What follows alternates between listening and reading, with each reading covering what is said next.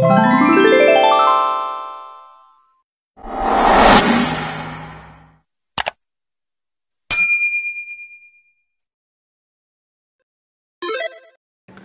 Halo semuanya, kembali lagi di channel YouTube aku Idapar.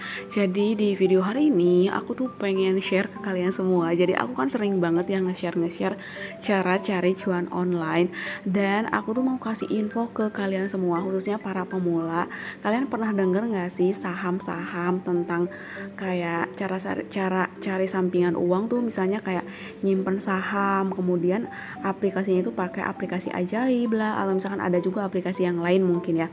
Cuman aku mau share pengalaman aku cara cari cuan online melalui saham dan aku tuh pakai aplikasi ajaib.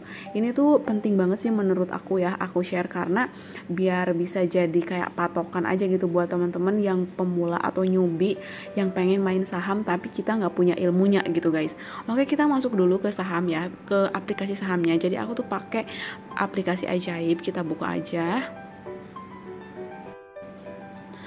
Oke okay guys, jadi ini adalah aplikasinya. Kalian harus tahu ya, ini tuh ada buying power aku yang buying power reguler tuh kayak uh, saldo aku ya untuk beli saham lagi. Cuman aku belum beli lagi karena lagi ngumpulin dulu buying powernya aja gitu. Terus ini total investasi, ini tuh kayak uh, apa ya namanya tuh kayak total aku berinvest di saham ini gitu. Terus kita lihat ya portofolionya.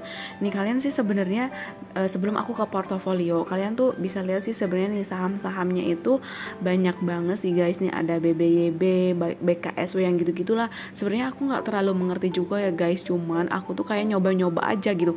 Bener nggak sih sebenarnya dari saham tuh bisa menghasilkan uang gitu. Dan memang ternyata bener guys.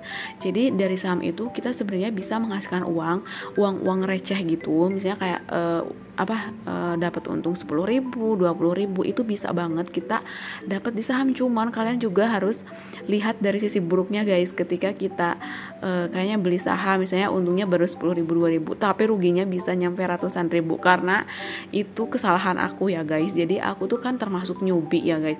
Dan aku tuh emang kayak orangnya tuh nggak sabaran guys. Jadi kalau misalkan pertama nih aku ada keuntungan oh udah dapat untung nih 200 ribu. Dan kayaknya nih saham ini bakalan ada kenaikan deh. Terus aku beli lagi gitu-gitu loh guys. Dan itu tuh nggak berdasarkan kayak perhitungan. Kan orang-orang tuh kalau yang udah expert expert kan mereka ada perhitungannya gitu. Kalau aku tuh kayak cuman sumber kabar burung di grup gitu loh guys. Jadi kayak info nih bakalan ada kenaikan saham ini bla bla bla gitu. Jadi itu jangan ditiru banget ya guys. Kalian tuh harus punya harus punya apa ya kayak uh, harus punya cara perhitungannya deh harus harus bisa trik-triknya gitu loh. Karena jangan sampai kayak aku aku udah mengalami kerugian ya berapa ya satu jutaan lebih lah guys. Dan itu tuh bener-bener sayang banget aku baru menyesal hari ini.